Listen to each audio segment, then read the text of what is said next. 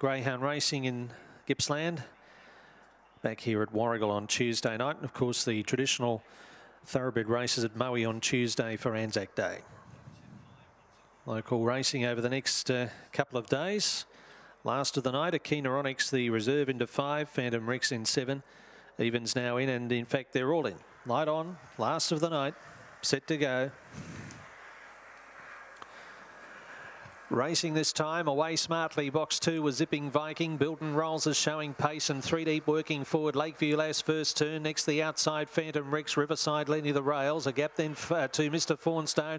Back with Dr. Bella and Akina Onyx. The last pair they swing. Zipping Viking the one to beat. Getting up on the inside as Bilton Rolls, but Zipping Vikings gripping on. Bilton Rolls won't get it. Zipping Viking wins the last over. Bilton Rolls second.